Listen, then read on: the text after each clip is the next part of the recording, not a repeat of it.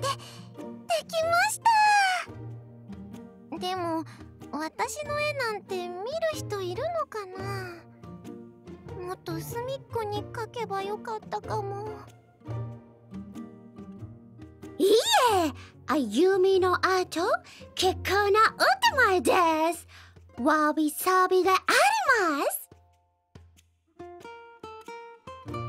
控えめなあゆみさんが内に秘めた可愛さを絵で表現する。僕にその発想はなかったよ。まあ一番は僕だけど。皆さんとってもお上手です。でもでもクーカは褒めないでくださいね。罵られた方がクーカはやる気が出ますから。